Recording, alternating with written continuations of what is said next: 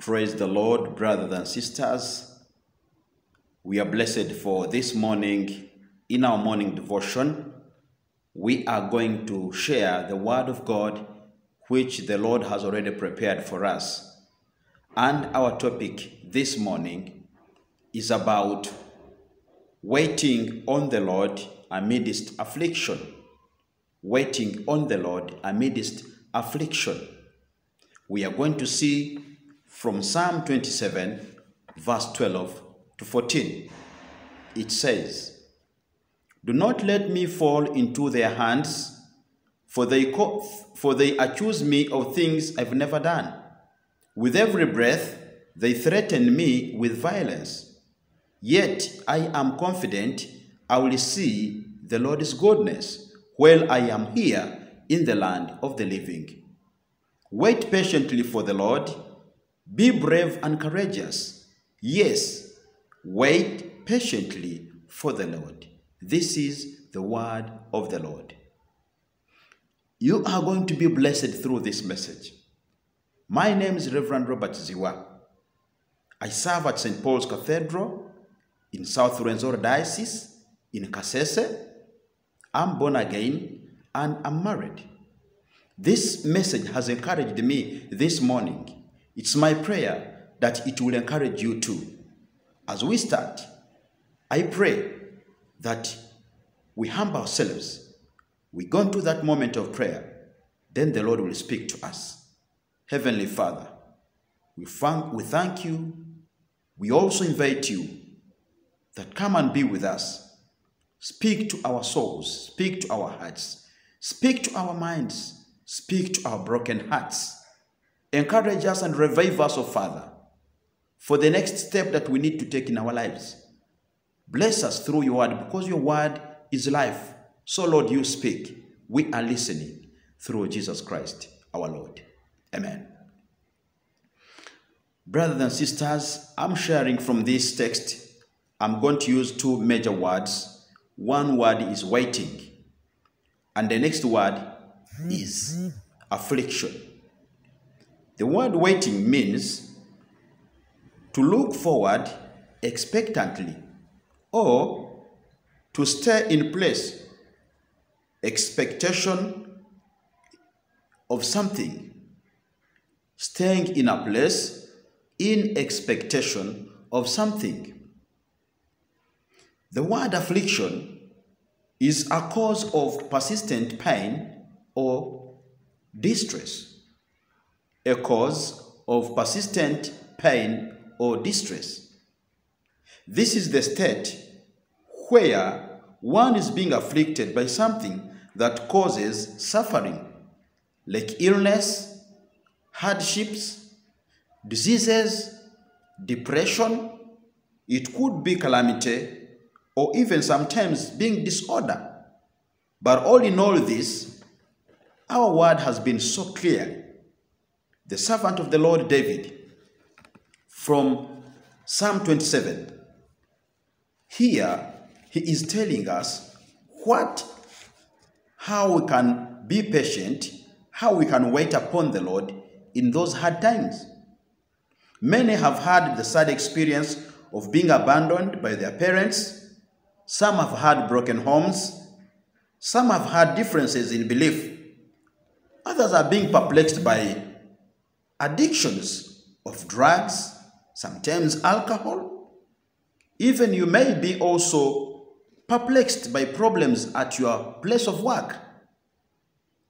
You might be also being perplexed by psychological isolation, where you live a situation that is not giving you hope. Even the adults have the pain that is lingering in them. I want to tell you this God can take that place in our life. The place of suffering, the place of hopelessness, the place of hardships, He can take up that place in your position. He can fill that void that is in you. But also, He can heal that kind of brokenness. He can heal that kind of heart that you might be going through. He can direct us to those who may take the role of being our parents. For us, we have to understand that His love is so sufficient for all of our needs. Hallelujah. Remember, David is giving us a great word of promise. In verse 13, Yes, I am confident I will see the Lord's goodness while I'm here in the land of the living. When he's speaking about this, the land of living simply means this life, this life you are living in. While I am still living, while you are still living, you need to wait upon the goodness of the Lord. It will at one time happen when you are seeing with your own eyes.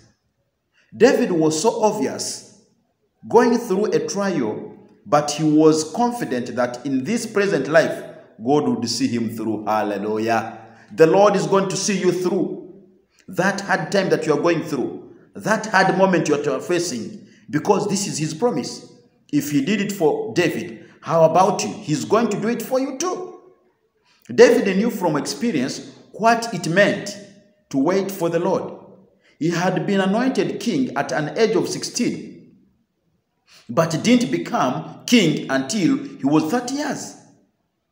During the interim time, he had been chased through the wilderness by jealous King Saul. David had to wait on God for the fulfillment of his promise to reign as king of Israel. David had to wait on God. Later, after becoming king, he was chased by his rebellious son called Absalom. Waiting for God is not easy, my brother, my sister.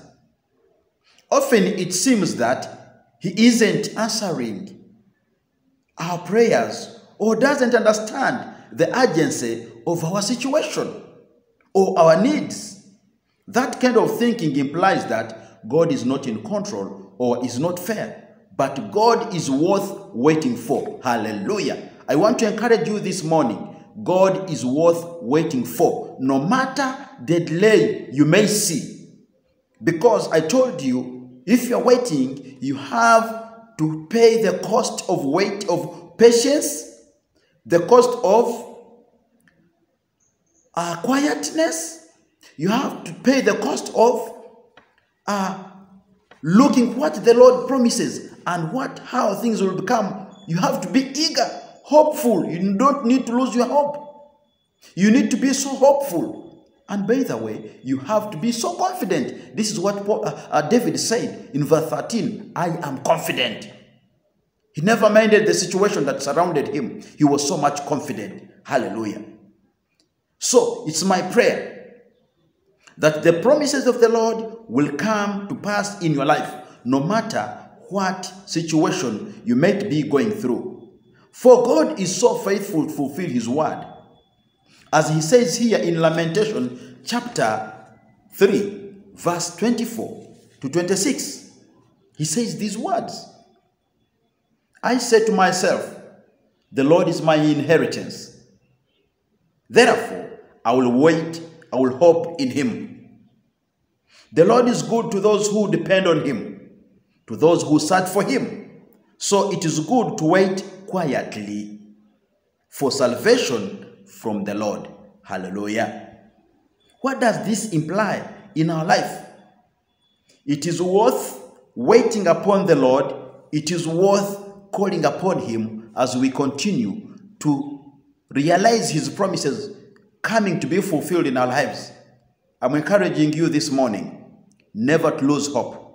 The Lord is so faithful. He's going to fulfill His word. David was so patient, and surely he became a successful king. After all that time, all sides he was being hard pressed. You might be the same in your office, in your family, in your business, in your place of work where you are going. I don't know the kind of situation you are, you are, you are facing, but I want to raise the promises of the Lord unto your life. The Lord will not let you down. He's going to get you out of that situation. He's going to bless you with good health. You are going to still see them live with your naked eyes. These things happening, the promises of the Lord happening in your life, because this is what He has promised. As David waited upon Him, though he was being afflicted, but later on, we see the testimony He is giving out. Tomorrow, you are going to give a testimony. The Lord will not let you the way how you are.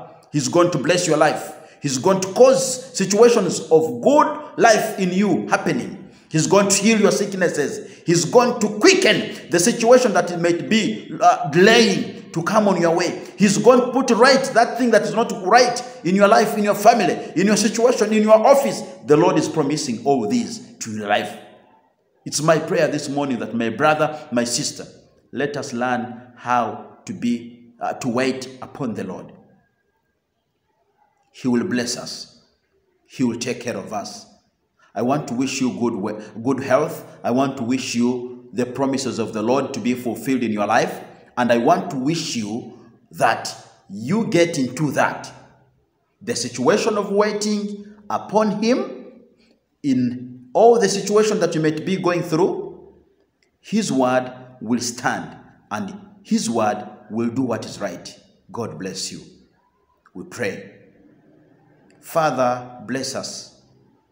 Use us as we continue to wait upon you. Amidst all the situations that I had, but let your promises be yes and amen, as you have promised. In Jesus' name, amen. And the blessing of God Almighty, the Father, the Son, and the Holy Spirit be upon you and remain with you now and forever. Amen.